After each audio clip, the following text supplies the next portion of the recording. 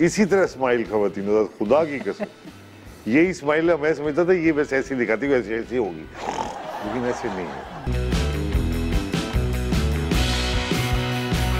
आज जिन खातून को मैंने बुलाया है, उनको मैं अकेला ही डील करूँगा आज, क्योंकि आज दूसरा मेहमान रखा ही नहीं मैंने। उसकी वजह कि ये माशाल्लाह बहुत ज़्यादा बोलती हैं। और जो भी बोलती हैं तो बड़ा अच्छा बोलती हैं।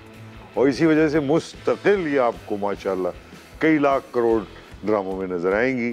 अगर ये नज़र नहीं आती तो वो ड्रामा जो है वो फ्लॉप है।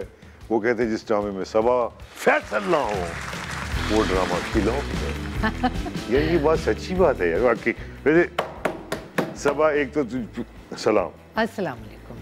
देखो मैं आपका फ़ैन दो वजह से एक तो आपकी यकसुई से जो काम करने की आदत है हम्म। इसी तरह स्माइल खवतीन खुदा की कसम। यही स्माइल है मैं समझता था ये वैसे ऐसी दिखाती वैसे ऐसी होगी। लेकिन ऐसे नहीं है।